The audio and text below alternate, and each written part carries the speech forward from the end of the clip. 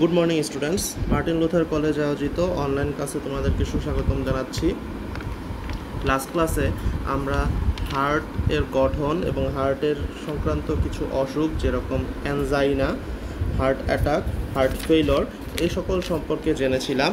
তো আজকের ক্লাসে মূলত আমরা হার্টের যেই মায়োজেনিক নিয়ন্ত্রণ, সেখানে এসএএন এর কথা যেটা শিখেছিলাম, সেটা সম্পর্কে একটু বিস্তারিত জানব এবং পরবর্তীতে পেসমেকার এবং পেসমেকারের গঠন এ সম্পর্কে আরও বিস্তারিত জানব। চলো শুরু করি। পেসমেকার মূলত হৃৎপিণ্ডের যেই ডান অ্যাট্রিয়াম, তার প্রাচীরের উপরে অবস্থিত এবং বিশেষায়িত একটি কার্ডিয়াক পেশিগুচ্ছে গঠিত।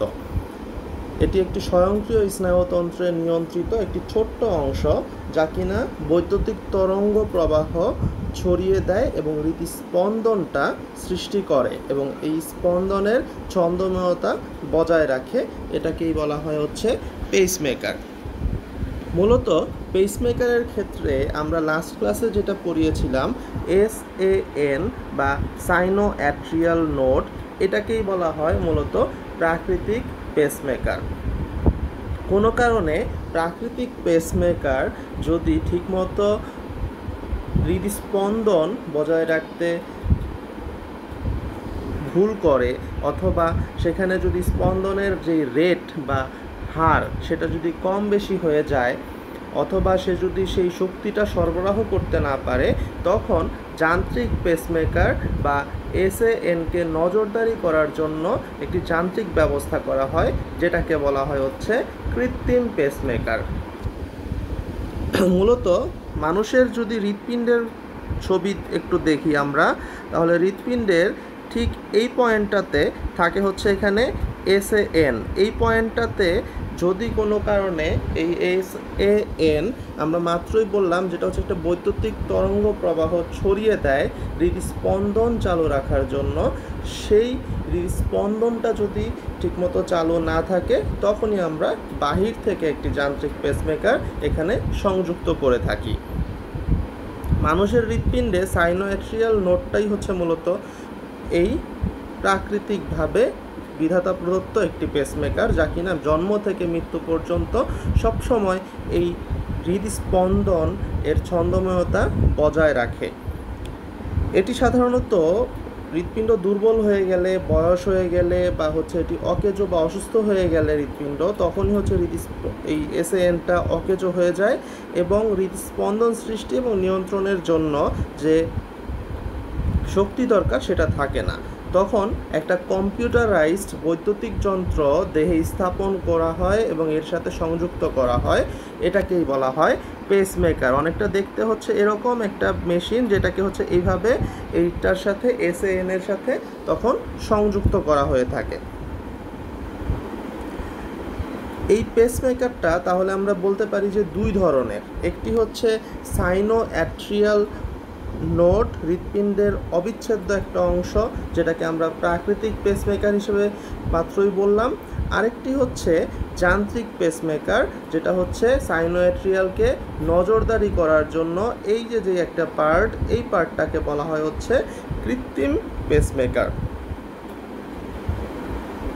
প্রাকৃতিক পেসমেকারের কার্যক্রম কার্ডিয়াক চক্রের অধীনে সাধারণত আমরা দেখেছি যে মায়োজেনিক নিয়ন্ত্রণে সেক্ষেত্রে হচ্ছে পয়েন্ট এইট সেকেন্ডে একটি পূর্ণ হৃদস্পন্দন সম্পন্ন করা হয়ে থাকে এবং এখানে মূলত আজকে আমরা যেটা পড়া পড়ব সেটা হচ্ছে হৃদরোগের চিকিৎসায় সাধারণত এই যে যান্ত্রিক পেসমেকার এর কার্যক্রমটা কীরকম?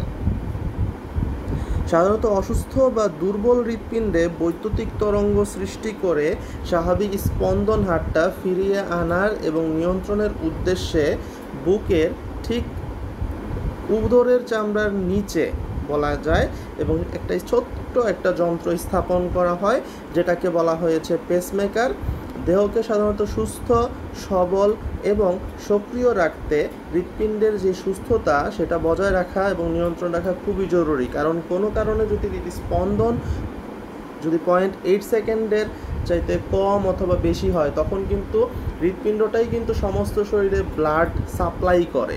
সে কিন্তু ব্লাড আর সাপ্লাই ঠিকমতো করতে পারবে না। অথবা ব্লাড যদি সাপ্লাই না হয় ব্লাডের সাথে কিন্তু অক্সিজেন কার্বন ডাইঅক্সাইড এগুলোও কিন্তু পরিবাহিত হয়। সাথে সাথে অন্যান্য খাদ্য উপাদান, পুষ্টি উপাদান, পানি এগুলোও কিন্তু প্রবাহিত হচ্ছে।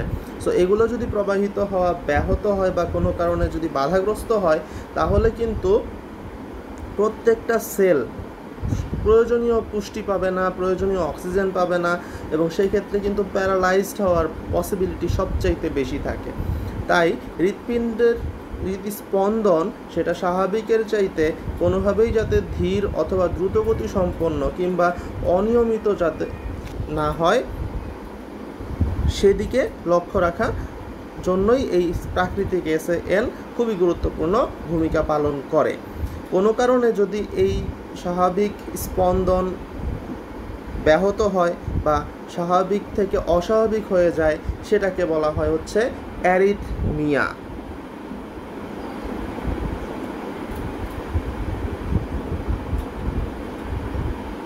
অ্যারিথমিয়া, এমন অবস্থায় মানুষ সাধারণত হচ্ছে ক্লান্ত হয়ে পড়ে, ঘন ঘন শ্বাস প্রশ্বাস নেয়, ফ্যাকাশে হয়ে যায় প্রচণ্ড যখন অ্যারিথমিয়া হয়ে যায়, তখন দেহের গুরুত্বপূর্ণ অঙ্গের ক্ষতি হতে পারে, কারণ তখন অঙ্গগুলো কিন্তু ঠিকমতো অক্সিজেন সাপ্লাই পায় না, অথবা পুষ্টি পায় না, অথবা খাবার উপাদান সে ঠিকমতো পায় না। মানুষ অনেক সময় দেখা যায় অ্যারিথমিয়া হয়ে গেলে তখন অজ্ঞান হয়ে পড়ে ইভেন মৃত্যু পর্যন্ত হতে পারে। কখনো কখনো দেখা যায় যে এই স্পন্দন অনেক দ্রুত স্পন্দিত হচ্ছে, আবার কতক্ষণ পরে স্টপ হয়ে যাচ্ছে অনেকক্ষণ ধরে, তারপরে আবার হচ্ছে স্পন্দিত হচ্ছে। অর্থাৎ সেক্ষেত্রেও কিন্তু অনিয়মিত বা অস্বাভাবিক স্পন্দন হয়ে থাকে। এটাও এক ধরনের অ্যারিথমিয়া পেসমেকারের ব্যবহারে সাধারণত সব ধরনের অ্যারিথমিয়ার হাত থেকেই রক্ষা পাওয়া যায়। এর অন্যতম কারণ হচ্ছে পেসমেকার সব এই এসএএন বা দুর্বল যে এসএএন প্রাকৃতিক পেসমেকার সেটাকে সবসময় নজরদারি রাখে। কম্পিউটারাইজড ওয়েতে একটা নির্দিষ্ট সময় পর পর সে হচ্ছে ইলেকট্রন সাপ্লাই করে থাকে বা শক্তি সাপ্লাই করে থাকে। তাই সে খুব সুন্দরভাবেই হৃদস্পন্দনের যেই সময়কাল, সেটা অক্ষুণ্ণ রাখতে পারে। চলো দেখি পেসমেকারের গঠন এবং কর্মপদ্ধতি সম্পর্কে জানি। পেসমেকারের গঠনে মূলত হচ্ছে আমরা তিনটি জিনিস দেখি। একটি হচ্ছে লিথিয়াম ব্যাটারি অপরটি হচ্ছে কম্পিউটারাইজড একটি জেনারেটর এবং তিন নম্বরে পাই আমরা একটি ইলেকট্রোড মূলত একটি লিথিয়াম ব্যাটারি কম্পিউটারাইজ জেনারেটর এবং শীর্ষে একটা সেন্সরযুক্ত কতগুলো তার নিয়ে একটি পেসমেকার গঠিত। সেন্সরগুলোকে সাধারণত হচ্ছে ইলেকট্রোড বলে। ব্যাটারি জেনারেটরকে সাধারণত শক্তি সরবরাহ করে এবং ব্যাটারি এবং জেনারেটর একটি পাতলা ধাতব বাক্সে আবৃত থাকে। এই তারগুলোর সাহায্যেই সাধারণত জেনারেটরকে হৃৎপিণ্ডের সাথে সংযুক্ত করা হয় এবং ইলেকট্রোডগুলো হৃৎপিণ্ডের বৈদ্যুতিক কর্মকাণ্ড শনাক্ত করে তারের মাধ্যমে সাধারণত জেনারেটরে প্রবেশ করায়। পেসমেকারে সাধারণত এই যে অপরিবাহী যে আবরণযুক্ত, এটাতে এক থেকে তিনটা মাত্র তার থাকে। পেসমেকারের যেই তার, এগুলোকে বলা হয় লিড। সাধারণত এই যে পেসমেকার এটা যদি আমরা চিত্র পর্যবেক্ষণ করি, তাহলে আমরা দেখতে পাই অনেকটা এরকম। এখানে ছবিতে পেসমেকার স্পষ্টভাবেই দেখানো হয়েছে। আমরা মাত্রই বললাম পেসমেকারের সাধারণত তিনটা পার্ট থাকে। একটিকে বলা হয় সাধারণত হচ্ছে জেনারেটর যেটা হচ্ছে এখানে দেখানো হয়েছে। এখানে ছোট্ট একটা জেনারেটর দেখানো হয়েছে। এটাই হচ্ছে সেই পেসমেকারের জেনারেটর এছাড়া এখানে জেনারেটরের ভেতরে এখানে কিন্তু বাক্স এটা বাক্সের ভিতরে বন্দি থাকে। এখানে একটা লিথিয়াম ব্যাটারি থাকে এর ভেতরে এবং শীর্ষে সেন্সরযুক্ত দেখো এখানে তার কিন্তু সংযুক্ত রয়েছে। আমরা কিছুক্ষণ আগে যে একটা হার্টের মধ্যে কীভাবে পেসমেকারটা সংযুক্ত থাকে সেটা কিন্তু বলা হয়েছিল। এটা কিন্তু এখানে আবার দেখানো হয়েছে। এই যে পেসমেকারটি এখান থেকে যেই তার বা এটাকে লিড বলা হয়, এটা সাধারণত এই যে হৃৎপিণ্ড, হৃৎপিণ্ডের এস এন এই প্রান্ত ডানেট্রিয়ামের ঠিক উপরে এই পয়েন্টটাতে এই পেসমেকারটা সংযুক্ত থাকে এবং প্রাকৃতিক পেসমেকার যেটা এস এন সেটার কার্যবিধিটা নিয়ন্ত্রণ করে থাকে। ছবিতে পেসমেকার স্থাপন সম্পর্কে খুব সুন্দরভাবেই দেখানো হয়েছে। পেসমেকারের একটা লিড খুব স্পষ্টভাবে দেখানো ডানেট্রিয়াম হৃৎপিণ্ডের, এছাড়া ডানেট্রিয়ামের মধ্যে লিডটা সংযুক্ত থাকে। লিড দেখো আরেকটা লিড দেওয়া হয়েছে, দেখা যাচ্ছে এখানে। এবং এটা হচ্ছে ডান ভেন্ট্রিকলের ঠিক একেবারে গোড়া পর্যন্ত চলে এসেছে লিডটি কিন্তু। এটা কিন্তু এখানে দেখানো হয়েছে। মূলত এই পেসমেকারের কার্যবিধি যদি আমরা বলি, তাহলে মূলত জেনারেটরের যেই কম্পিউটার চিপ এবং হৃৎপিণ্ডে সংযুক্ত যেই সেন্সরবাহী তার, এটা হচ্ছে কি করে? ব্যক্তির চলন, রক্তের তাপমাত্রা, রক্তের মাধ্যমে যে শ্বসন প্রক্রিয়া এবং বিভিন্ন শারীরিক কার্যক্রম, এগুলো হচ্ছে মনিটর করে কম্পিউটারের মাধ্যমে। এবং প্রয়োজনে কর্মকাণ্ডের ধারা অনুযায়ী হৃৎপিণ্ডকে সে হচ্ছে তাল মিলিয়ে চলতে সহায়তা করে। অর্থাৎ আমরা বেশি কাজ করলে হৃৎপিণ্ডের স্পন্দনটা কিন্তু আমরা দেখি যে বুকটা ধরপর বেশি করে। অর্থাৎ সেইটার এই যে, যেই বুকটা বা হচ্ছে হৃৎপিণ্ডটা বেশি বারবার পাম্পিং করতেছে, এই জিনিসটা কিন্তু মনিটর করা হচ্ছে এই পেসমেকারের মাধ্যমে। প্রয়োজনে কর্মকাণ্ডের ধারা অনুযায়ী হৃৎপিণ্ডকে তাল মিলিয়ে চলতেও এক্ষেত্রে হচ্ছে সহায়তা করে। এসব তথ্য কাজে লাগিয়ে পেসমেকারের ঠিক করে দেয় যে কোন ধরনের বিদ্যুৎ তরঙ্গ লাগবে এবং কখন লাগবে, কতটুকু পরিমাণে লাগবে এবং কতটুকু পরিমাণে কম বা বেশি করতে হবে। যেমন এইভাবে বলা যায় যে পেসমেকার ব্যক্তির ব্যায়াম করার সময় বিষয়টি বুঝতে পারে। একজন ব্যক্তি যখন ব্যায়াম করে তখন কিন্তু তার বুকটা কিন্তু স্পন্দনটা বেশি হয় এবং তখন এই পেসমেকার এই জিনিসটা যখন বুঝবে, তখন সেই স্পন্দনটাকে বাড়িয়ে দিবে। আবার এসব উপাত্ত যখন পেসমেকারে রক্ষিত থাকে এবং তা দেখে চিকিৎসকরাও কিন্তু তখন বুঝতে পারেন যে পেসমেকারে প্রয়োজনীয় পরিবর্তন কি পরিমাণ আনতে হবে। কম্পিউটারের সাহায্যে যেহেতু পেসমেকারের প্রোগ্রাম পরিবর্তন করা যায়, তাই পেসমেকারে কোনো ছুরি কাচি চালানোর প্রয়োজন পড়ে না এবং পেসমেকারের ব্যাটারিটা এক্ষেত্রে খুবই গুরুত্বপূর্ণ ভূমিকা পালন করে। শুধুমাত্র সেটা রিনিউ করে দিলেই হয়, সেই এই যে রিনিউ করা বা ব্যাটারিকে রিচার্জ করা বা নতুন ব্যাটারি সংযোজন করা, এটা সাধারণত হচ্ছে পাঁচ থেকে দশ বছরের মতো সময় পাওয়া যায়, এর মধ্যে করা যায়। পাঁচ থেকে দশ বছর পর পর এই পেসমেকারের এই যে ব্যাটারি, এটা প্রয়োজনে চেঞ্জ করা যায় বা রিচার্জ করা যায়। এই হচ্ছে মূলত পেসমেকারের কার্যবিধি। তবে পেসমেকারটা মানুষের প্রয়োজন অনুযায়ী তিন ধরনের পেসমেকার দেখা যায়। চলো আমরা প্রকারভেদটা দেখি। মূলত পেসমেকারের প্রকারভেদে আমরা তিন ধরনের পেসমেকারের কথা জানি। একটি হচ্ছে এক প্রকোষ্ঠ পেসমেকার দ্বিপ্রকোষ্ঠ পেসমেকার এবং ত্রিপ্রকোষ্ঠ পেসমেকার এটি মূলত দেখা যায় যে হৃৎপিণ্ডের বিভিন্ন প্রকোষ্ঠে তার প্রবেশ, এই যে তার বলতে আমরা যে লিডটা দেখেছি, সেই লিড প্রবেশের ধরন অনুযায়ী পেসমেকারটাকে সাধারণত তিনটা ভাগে ভাগ করা যায়।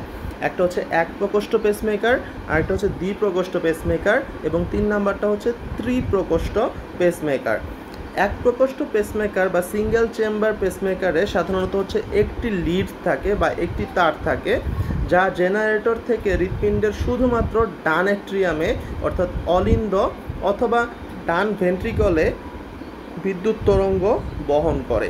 অর্থাৎ এক প্রকোষ্ঠ পেসমেকারের ক্ষেত্রে যদি আমরা চিন্তা করি, তাহলে এখান থেকে দেখা যায় যে শুধুমাত্র একটি লিড এখানে ডান অথবা ডান ভেন্ট্রিকলে সে যদি সংযুক্ত থাকে, তাহলে কিন্তু সেটাকে আমরা বলব হচ্ছে এক প্রকোষ্ঠ পেসমেকার দ্বিপ্রকোষ্ঠ পেসমেকার বা ডুয়েল চেম্বার পেসমেকারের ক্ষেত্রে সাধারণত হচ্ছে দুইটা তার থাকে, যা কিনা জেনারেটর থেকে হৃৎপিণ্ডের দুইটা প্রকোষ্ঠ, অর্থাৎ ডান অ্যাট্রিয়াম এবং ডান ভেন্ট্রিকলে বিদ্যুৎ পরিবহন করে। অর্থাৎ আমি যদি এরকম হৃৎপিণ্ডটাকে দেখি এবং এখানে যদি এটা একটা লিড এখানে থাকে আরেকটা লিড কিন্তু খুব সুন্দরভাবে ডান ভেন্ট্রিকলেও যাবে। অর্থাৎ এখানে হচ্ছে দুইটা প্রকোষ্ঠকে সে বিদ্যুৎ তরঙ্গ পরিবহন করে দেয় এবং রীতি স্পন্দনটা সঠিক রাখতে সহায়তা করে। এটাকে বলা হয় দ্বিপ্রকোষ্ঠ পেসমেকার অপরপক্ষে যদি পেসমেকারের তিনটা তার থাকে এবং তিনটা তার একটি জেনারেটর থেকে তিনটা চেম্বারে হৃৎপিণ্ডের তিনটা চেম্বারে বিদ্যুৎ তরঙ্গ বহন করে। অর্থাৎ যদি দেখা যায় এই হচ্ছে একটি হৃৎপিণ্ড, এখান থেকে লিডের মাধ্যমে একটি ডান অ্যাট্রিয়ামে গিয়েছে, একটি হচ্ছে ডান ভেন্ট্রিকলে গিয়েছে এবং আরেকটি বাম ভেন্ট্রিকলে বিদ্যুৎ পরিবহন করে। অর্থাৎ এখান থেকে যদি এই পর্যন্ত আরেকটি যদি তার, অর্থাৎ তিনটি তার যদি দেখা যায় যে হৃৎপিণ্ডের তিনটি চেম্বারে বিদ্যুৎ তরঙ্গ বহন করে এবং হৃৎপিণ্ডটাকে সচল রাখে, তখন সেটাকে বলে ত্রিপ্রকোষ্ঠ পেসমেকার সাধারণত হৃৎপিণ্ড যখন অত্যন্ত দুর্বল, একেবারেই স্পন্দন করতে সক্ষম না, তখন এই ত্রিপ্রকোষ্ঠ, অর্থাৎ তিনটা লিড সম্পন্ন পেসমেকার ব্যবহার করা হয় বা স্থাপন করা হয়। না হলে হার্ট ফেলোরের সম্ভাবনা খুবই বেশি থাকে এবং পেসমেকার এক্ষেত্রে ভেন্ট্রিকল দুইটাকে সংকোচন ক্ষমতার উন্নতি ঘটিয়ে হৃদপ্রবাহটা উন্নতি ঘটায়। আদারওয়াইজ হৃৎপিণ্ডের মাধ্যমে ব্লাডটা পাম্পিং ঠিক মতো হয় না।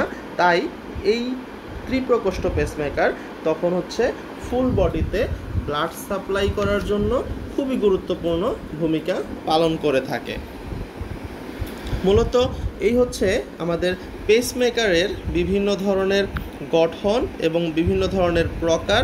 মূলত আজকের যে ক্লাসটা করলাম, এখানে মূলত পেসমেকার সম্পর্কে একটি স্বাভাবিক ধারণা দেওয়ার চেষ্টা করলাম। তবে এই পেসমেকারটা মূলত হচ্ছে একটি প্রাকৃতিক পেসমেকারটাকে নজরদারি করে। প্রাকৃতিক পেসমেকারে মূলত দেখা যায় যে হার্টবিট খুব সুন্দরভাবে নিয়ন্ত্রিত হয়। কোনো কারণে সেই হার্টবিটটা সুন্দরভাবে যদি নিয়ন্ত্রিত না হয়, তখনই কিন্তু এই পেসমেকারটা গুরুত্বপূর্ণ ভূমিকা পালন করে। তো আমরা চলো একটু দেখে নেই যে প্রাকৃতিকভাবে কীভাবে হৃৎপিণ্ডটা স্পন্দিত হয় এবং সেখানে কেন এবং কোন পয়েন্টে এই পেসমেকারটা সংযুক্ত করার প্রয়োজন পড়ে যদি প্রাকৃতিক পেসমেকার ঠিকভাবে কাজ না করে। একটি হার্টের ছবি জাস্ট স্বাভাবিকভাবে ছোট করে আর্ট করি আমরা।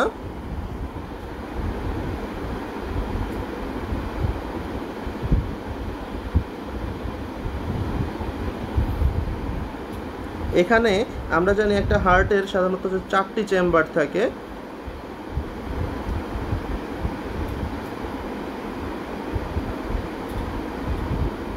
এভাবে মূলত চারটি চেম্বার থাকে। এখানে থাকে হচ্ছে এস এ এন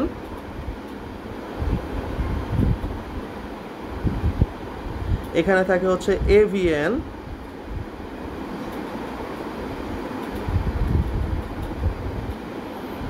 এবং এভিএন থেকে মূলত এখানে বান্ডল অফ হিজ থাকে।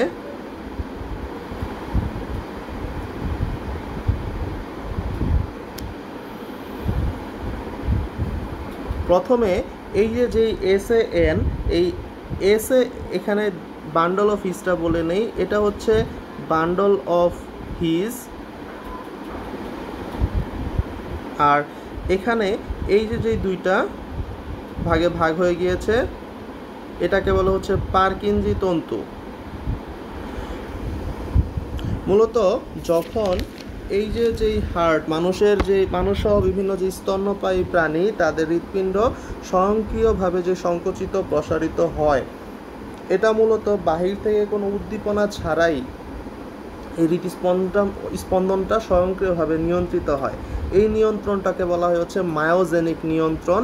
মায়োজেনিক শব্দের অর্থ হচ্ছে মাসল অরিজিন মায়ো হচ্ছে মাসল জেনিক হচ্ছে, শব্দের অর্থ হচ্ছে গিভিং রাইস টু অর্থাৎ স্নায়ুতন্ত্র বা হরমোন কিংবা অন্য কোনো উদ্দীপনা ছাড়াই নিজ থেকে এই হৃদস্পন্দনটা তৈরি হয়।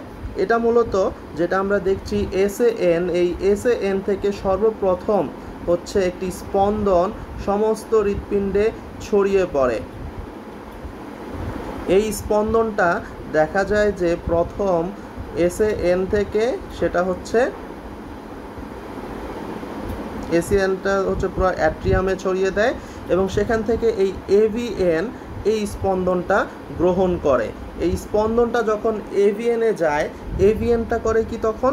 এই স্পন্দনটাকে বান্ডল অফ হিজে দিয়ে দেয়। এবং বান্ডল অফ হিজ একটা জিনিস দেখো, এখান থেকে কিন্তু সে পার্কিনজি তন্তুর মাধ্যমে সমস্ত ভেন্ট্রিকলে কিন্তু এটা প্রবাহিত করে দেয়। অর্থাৎ দেখা যায় যে বান্ডল অফ হিজ থেকে সমস্ত স্পন্দনটা পরবর্তীতে হচ্ছে ভেন্ট্রিকলে চলে যায়। এবং ভেন্ট্রিকলে কিন্তু সমস্ত স্পন্দনটা কিন্তু পুনরায় আবার সেটা ব্যাক করে এবং ব্যাক করে আমাদের কিন্তু সেমিনোলারে যেই সেমিনুলার ভাল্বটা ওপেন করে যখন লাস্ট দুইটা হৃদচক্রে ব্লাডটা অ্যাওরটা অথবা পালমোনারি ধমনী দিয়ে চলে যায়, সেখানে কিন্তু পুশ আপ করতে সহায়তা করে।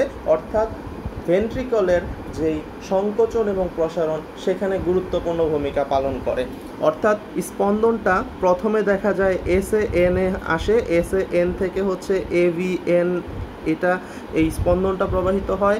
এরপর সেখান থেকে বান্ডল অফ হিজ সেই স্পন্দনটা বা সেই স্পন্দন শক্তিটা বা হৃদ প্রবাহের সরি বিদ্যুৎ প্রবাহের যে শক্তিটা সেটা গ্রহণ করে, সেটা থেকে পরবর্তীতে সবার লাস্টে পার্কিনজি তন্তু সেই স্পন্দনটা গ্রহণ করে ভেন্ট্রিকলের টোটাল স্পন্দনটাকে কার্যকর রাখে।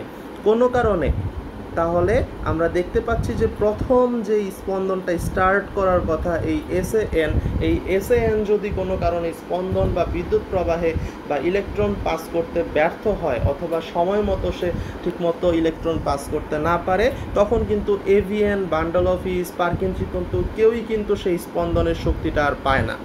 এ কারণেই এসএএনকে বলা হয় প্রাকৃতিক পেসমেকার এবং এসএএনটাকেই যদি কোনো কারণে অসুস্থ হয়ে যায়, সেটাকে সক্রিয় রাখার জন্য আমরা এখানে আলাদাভাবে একটি পেসমেকার এই যে যেই এসএএন প্রাকৃতিক পেসমেকারের সাথে সংযুক্ত করি। এটাই হচ্ছে, এই কারণেই বলা হয় কৃত্রিম পেসমেকারটা যেটা কৃত্রিম পেসমেকার এটা মূলত হচ্ছে এসএএন এর সাথে সংযুক্ত থাকে এবং এসএএনকে টোটাল নজরদারিতে রাখে অথবা এসএএনের যে স্পন্দন সেটাকে নিয়ন্ত্রণ করে থাকে। প্রাকৃতিক পেসমেকারটাকে সক্রিয় রাখার জন্যই মূলত কৃত্রিম পেসমেকার হার্ট ফেইলর হার্ট থেকে মানুষকে রক্ষা করার জন্য কৃত্রিম পেসমেকারটা মানুষের শরীরে স্পন মানে স্থাপন করা হয়ে থাকে। তো এই হচ্ছে মূলত টোটাল যে পেসমেকার সংক্রান্ত যে ব্যাপারটা, সেটা হচ্ছে আজকে আমরা পড়ালাম। যদি কোনো কোশ্চেন থেকে থাকে বা তোমাদের যদি কোনো কোয়ারি থেকে থাকে, অবশ্যই সেটা আমাদের কমেন্ট বক্সে কোশ্চেন করবা এবং আমি আশা করি পরবর্তী ক্লাসে সেটা তোমাদেরকে, তোমরা যেটা বোঝনি সেটা বুঝিয়ে দেওয়ার আবার চেষ্টা করব। এবং সেই পর্যন্ত যদি তোমাদের উপস্থিতি নিশ্চিত করার জন্য তোমাদের যে নাম রোল সেটা লিখতে অবশ্যই ভুল করবে না। তোমাদের সবার সুস্থতা এবং আগামী ক্লাসে যাতে দেখা হয়, সেই শুভকামনা আশা করেই আজকের ক্লাস আমরা এখানেই শেষ করছি। তোমাদের নাম এবং রোলটি লিখে তোমাদের উপস্থিতি নিশ্চিত করবে। যারা কষ্ট করে ক্লাসটি করেছ তাদের অসংখ্য ধন্যবাদ জানাচ্ছি।